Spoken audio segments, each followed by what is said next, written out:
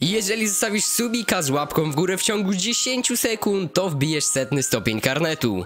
Siemaneczko, z tej strony Sigu i w dzisiejszym filmie pokażę Ci w jaki sposób wykonać zadanie udowodnij swoją wartość podnoszą Mjolnira jako Thor, zdobywając mod Tora. Oraz jak to zwykle bywa, omówimy sobie najciekawsze newsy z ostatnich dni ze świata Fortnite. Standardowo na ekranie wyświetla Wam się 5 ostatnich osób, które zasubskrybowały ten kanał. Wielkie dzięki, a jeżeli Ty byś chciał się tutaj znaleźć w następnym filmie, wystarczy, że stawisz subika oraz łapkę w górę pod tym filmem. Jeżeli jesteś nowy na tym kanale, a podobają Ci się moje materiały, to proszę Cię o zasubskrybowanie go, ponieważ nic Cię to nie kosztuje, a mi mega pomoże. Na końcu przypominam, że możecie mnie wspierać swoimi zakupami w Fortnite, wpisując mój kod twórcy Sigu myśli YouTube w sklepie. Z góry Wam dziękuję, a teraz bez dłuższego przedłużania zapraszam do materiału.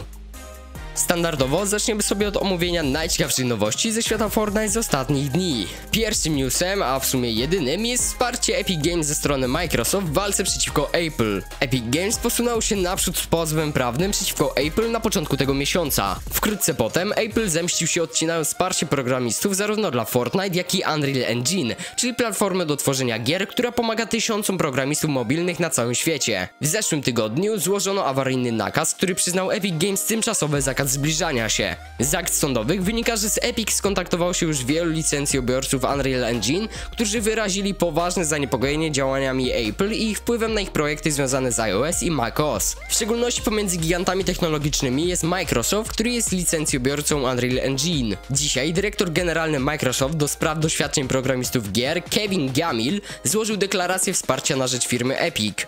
Silnik Unreal Engine w firmie Epic jest jednym z najpopularniejszych silników gier innych firm dostępny dla twórców, a w opinii Microsoftu istnieje bardzo niewiele innych opcji dostępnych dla twórców na licencjonowanie tak wielu funkcji i tak wielu funkcji jak Unreal Engine na wielu platformach, w tym iOS. Gamil zwrócił później uwagę, że Apple zmusił ich wraz z tysiącami innych niezależnych twórców do wejścia w kąt. Jeśli silnik Unreal Engine nie może obsługiwać gier na iOS lub macOS, firma Microsoft będzie musiała wybrać pomiędzy porzuceniem swoich klientów i potencjalnych klientów na platformach iOS i macOS lub wyborem innego silnika gry podczas przygotowywań do tworzenia nowych gier. Przedstawiciel Microsoftu nie zajął stanowiska w sprawie leżącej u podstaw pozwu, który doprowadził Epic Games do tego dylematu.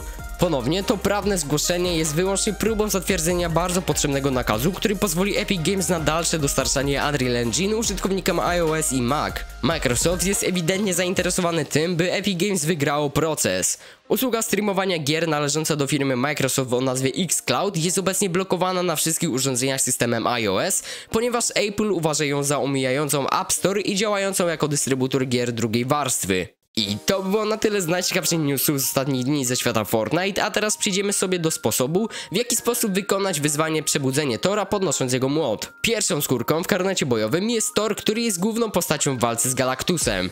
Jednak dla wszystkich, którzy chcą zdobyć upragnionego Mjolnira i władać mocą Tora, będziecie musieli najpierw ukończyć serię wyzwań Przebudzenie Tora.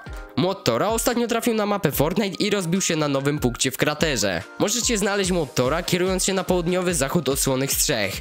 Aby móc podnieść młot Tora, musicie posiadać karnet bojowy, wbity ósmy poziom oraz założoną skórkę Tora. Wtedy podchodzicie do młota oraz po prostu przytrzymujecie na nim podnoszenie.